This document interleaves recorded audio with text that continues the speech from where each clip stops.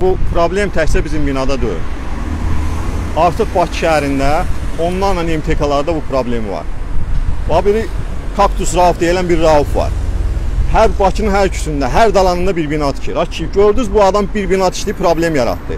İnsanlara Allahdır, niyə imkan verirsiniz ikincisini tikməyə? İkincisini tikdi, problem yaratdı. Başladı üçüncüsünü tikməyə. Dörd, problemi o qədər böyüdüb ki, artıq dövlət də nə edəcəyini bilmir. Adamı həbs eləyənmir. Həbs eləsə bu qədər insanlar qalacaq yolda, dəymiş ziyan ödənməyəcək. Bir sözlə, adam dövlətlə şahmat oynayır. Artıq da mat qalan vətəndaşlardır.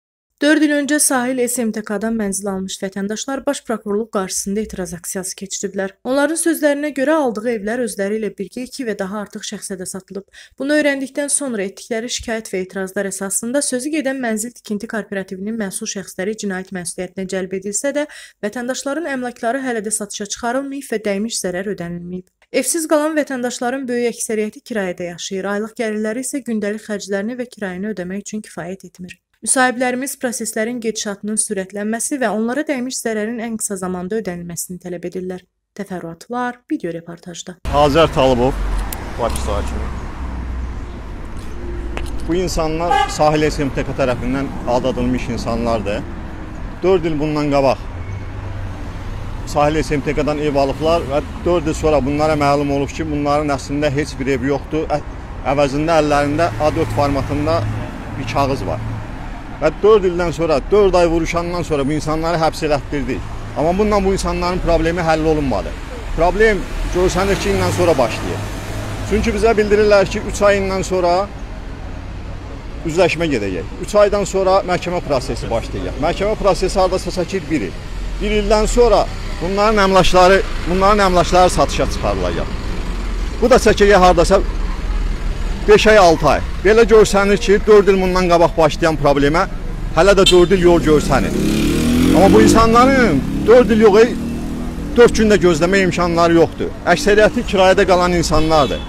Məmurlar fikirləşir ki, bu insanlar da bunlar kimi bahalı həyat yaşayır. Ən yaxşı halda bu insanlar 500-600 manat maaş alırlar. 500-600 manat maaşın 300 manatını, 400 manatını aparıb kirayə verirlər. Bəs bunlar nə yesinlər, nə etsinlər? Biz bura gəlməkdə məqsədimiz odur ki, bu proses tezləşdirsinlər. Yəni insanların artıq gözləmək səbri yoxdur. Neçənci ildə oradan ev aldınız? 2018-də bina başlayıb tikilməyə, 2022-dir. 4 ildir. Bina başa çatmamağı o tərəfə dursun. Artıq insanlar bilir ki, bunların orada evləri yoxdur. Yenə deyirəm, əvəzində hərəsinə A4 formatında bir kağız veriblər. Yenə deyirəm, 4 aydan 4 ay biz vuruşandan sonra bu insanları həbs elətdirdik. Amma insanların problemi həll olunmuyor. Hamısı yenə kirayədə, yenə baş prokurorluqdan, korrupsiya qarşı mübarizə idarəsindən deyirlər. Bunların sözündən belə çıxır ki, biz indən sonra aşağısı bir 3 il, 4 ildə gözləməliyik. Nə deyirlər 3 ay üzləşmə prosesi gedəcək. 3 aydan sonra 1 il məhkəmə çəkməlidir. 1 ildən sonra 1 ildə bunların əmlakı satışa çıxarılır, bu insanlara dəyən zərər ödənilsin. Amma bu qədər bu insanlar gözləyənməz, hamısı qırılar. Bu insanlar 50 yaşında ev alır. 50 yaşında bu 7-8 ilindən sonra gözləsə, bu olur 60 yaşında. Bu 60 yaşında bu insanların evinə nə lazımdır ki? Eldar Yusif, Sahil SMTK-dan eyni məzmunlu, eyni firma, firma blankında, eyni maliyyə arayışı ilə müqavilə əsasında mənzil almışıq. Alandan sonra məlum olub ki, mənzil məndən başqa 2 nəfər də mənzildə sakinə satılıb və mənzilin də hal-hazırda sakinlərin hansı yolla alındığı, mənzili aldıqları məlum deyil binanın tikilişində iştirak edən çoxlu sayda tikinti podratçıları var. Onlara qanunsuz şəkildə əldə etdikləri maliyyə arayışlarını müxtəlif yollarla bir də dəfələrlə satışını həyata keçiriblər. Bugünkü günə qədər heç bir məsuliyyətə cəlb olunmur.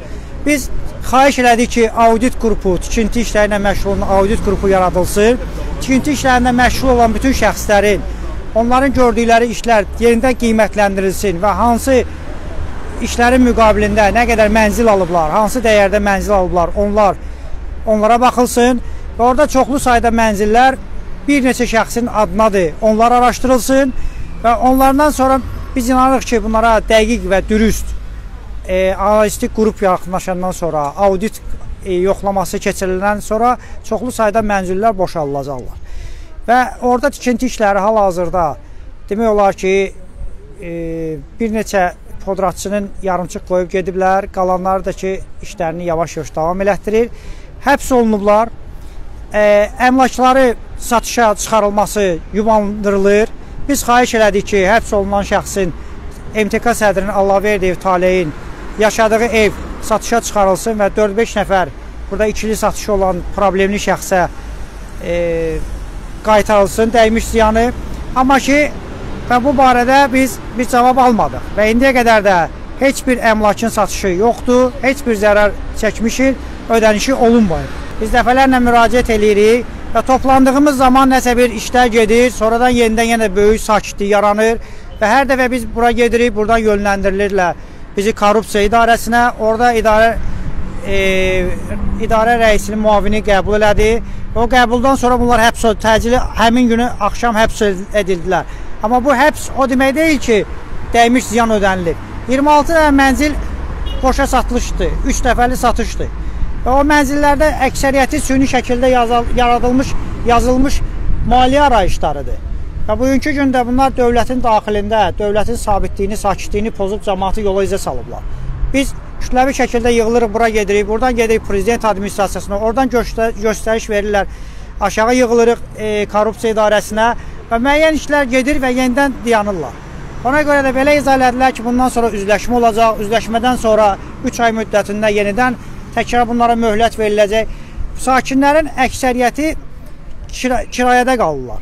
Əksəriyyətin ailəsində artıq problemlər yaranır. Ödəniş edə bilmirlər. Və bu heç bir təzminat ödənmir. Bu cəmaatın da hamısı müəyyən dövlət, şəxsən mən özüm 14 yaşından e, dövlət müəssisələrində işləmişəm və ömründə bir dəfə belə bir mənzil almağa cəhd göstərmişik və mənzil bu şəkildədir. Və hal-hazırda mən bundan sonra da heç ümidim yoxdur ki, mən nəsə bir mənzil ala bilərəm. Ona görə də dövlət tərəfindən bunun qiymətləndirilməyini tələb edirik, prosesin sürətlənməyini tələb edirik və xahiş edirik ki, bu məsələlərə ciddi yanaşılsın. Ora müəyyən qruplar yaxınlaşsın, orada müəyyən işlər var. O işlərin görünməyib, boş maliyyə arayışları, onlar araşdırılsın. Maklerlər qrupu var. Onların biz dəfələrlə xahiş elədik, adlarını yazdılar, götürdülər. Onlar cinayətə cəlb olunmurlar. Onlar da onlarda da külli miqdarda mənimsəmələr var. Və biz bu vaxt odur ki, biz bilmirik nə səbəbdən belə uzanır. Nə qədər sakinə ziyan dəyib, nə qədər oradan Bizdə 26 dənə MTK sədrinin yazdığı siyahıya görə 26 nəfər zərər çəkmişdi, amma faktiki biz öz sakinə arasında bunun hardasa 50, 60, hətta 100-ə yaxın olduğunu, çünki bizdə rəsmi şəkildə belə bir məlumat verilmir. Bəs bir neçə mənzilə, bir ev bir neçə şəxsə satılıb, Bəli. neçə nəfərə satılıb, məsələn, neçəsi elə var? Elə mənzil var ki, ən aşağı mənzil 2 adama satılır.